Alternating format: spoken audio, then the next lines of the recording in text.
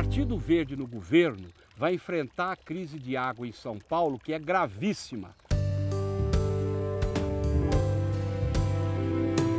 Vamos recuperar os nossos rios, vamos aumentar o tratamento do esgoto, vamos incentivar o reuso da água e a economia de água na torneira e proteger nascentes como esta, que no centro de São Paulo se mantém viva e limpa. Isso é tarefa do governo e de cada um de nós.